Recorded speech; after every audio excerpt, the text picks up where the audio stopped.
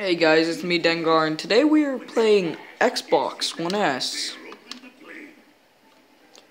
Um, Crash Bandicoot.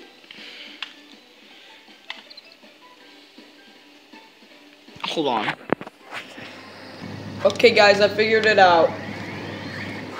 You press A to move. I'm assuming it's A to move, B back, and C forward.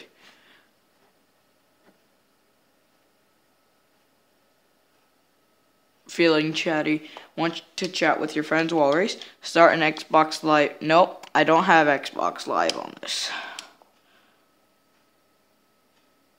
This takes so long because I'm playing this offline. Highlight mode.